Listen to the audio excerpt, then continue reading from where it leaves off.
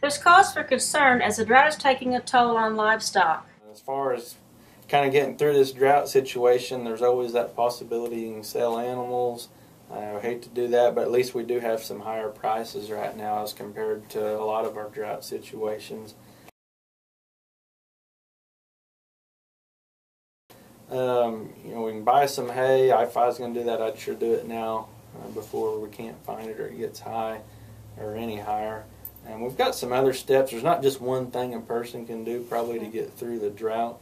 Um, but if you know a guy wanted to come in, we could go through some things to, to kind of alleviate some of that. Um, I did get a deal today. Um, there may be some drought assistance through the Farm Service Agency.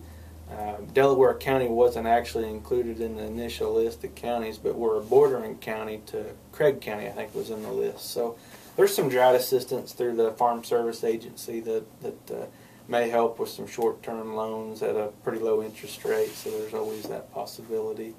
Uh, but again, I'd sure watch our forages for, for nitrates and prussic acid. And uh, just if anybody has questions, come in and visit, or I'd be glad to get out of the office.